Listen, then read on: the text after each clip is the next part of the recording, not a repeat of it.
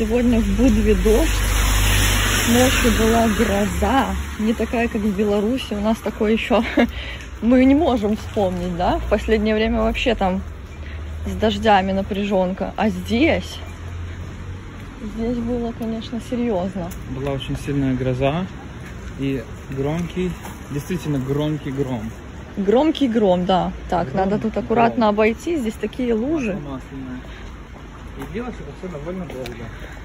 Не 5 минут, не 10, а, не знаю, наверное, несколько часов. Да, мы Небо сегодня сверкало просто офигенно. как в Беларуси идем. В в джинсах, в штанах. Потому что сейчас не жарко, свежо после дождя. А мы собрались на экскурсию. Как она называется? Катарская бухта. Бока-Которская бухта. И нам надо попасть на остановку, на которой нас заберет А, автобус. Там вот это. Вот мы туда и идем. Вчера гид сказал нам, что пешеходы, как это сказать, пешеходы не являются приоритетом в Будве, поэтому надо очень аккуратно переходить дорогу. Тебя могут вообще не пропустить. Поэтому надо быть очень внимательными. Вот машина едет, Пропустил. да, и не очень-то хотела останавливаться. Вроде как мы пришли. Вот эта остановка. Смотрим, Что там за бусик стоит? Пойдем, на которой нас должны забрать. Неудобные дороги для водителей. Нет. Приехала машинка, привезла товары и чуть вырулила. Ей было очень неудобно разворачиваться. И это проблема здешних дорог. Вот там море, пляж городской. Здесь стройка, наверное, это будет какой-то крутой новый отель, потому что у него прекрасный вид на море. Ну и, судя по всему, да. Больше всего это похоже на отель. Люди собираются на другие экскурсии, вон там машины стоят небольшие. Они на них куда-то тоже поедут. А у нас сегодня экскурсия морска- морская. Нас заберет автобус, довезет до Тивата, а там мы будем уже пересаживаться. Нас забрал автобус, и сейчас мы едем в Тиват.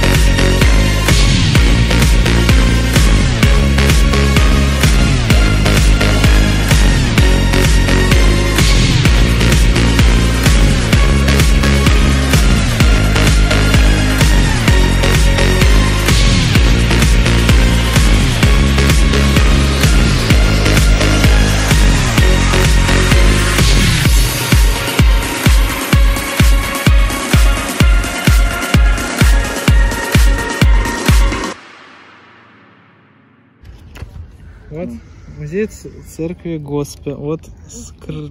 скрипело. В общем, нас привезли на такой маленький островок.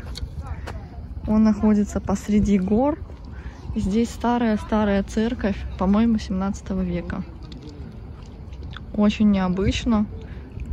Внутри небольшой музей. И самое, что интересное, то, что нас поразило больше всего, в нем находится икона, которую жена моряка вышивала собственными волосами. Причем в разные годы своей жизни. Очень интересно. А это такой маленький-маленький маячок. Их, кстати, очень много мы сегодня видели. Это один из них. Смотрите, какой вид. Вот представляете, живут себе люди вон на той стороне, да вообще с любой стороны, здесь кругом маленькие-маленькие городишки. И вот у них такой вот вид из окна.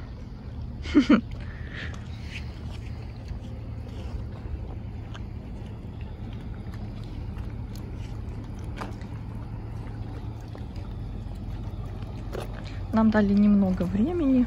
Не знаю, сколько нам дали времени. Еще минут 20 осталось. Да. А всего было, может, полчаса. Чтобы мы здесь походили и вернулись на кораблик.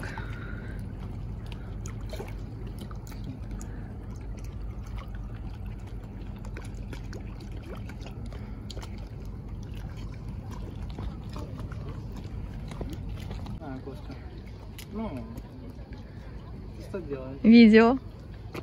После того, как видишь вот это вот все, возвращаться к нам вообще не хочется. Да? Вообще не хочется. Хочется остаться жить здесь, да? Да. Ну потому что я не знаю, ну как к этому можно вот пофигистически относиться? Никак. Природа, очень много природы. Причем она кардинально отличается от нашей. Кругом горы, да, море, естественно. Это очень классно. Самое главное, кристально-прозрачное море. Да, мы даже видели, как плавают рыбки.